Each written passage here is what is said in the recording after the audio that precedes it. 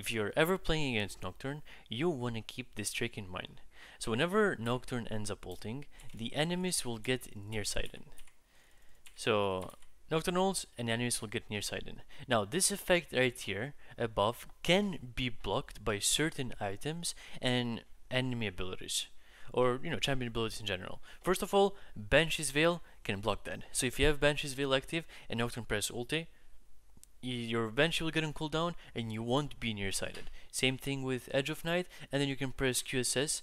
Um, if you see Nocturne has the ulti, has used the ulti, and you can get out of that uh, near sight buff. Champions like Gangplank with the orange, uh, with the passive have the same effect. So always make sure that if you're playing and against a Nocturne, before you do anything, make sure you have those crucial abilities uh, ready, so you can kind of uh, bait then and counter it. And at the same time, if you need to buy one of those three items, make sure you do so because this trick can be very important.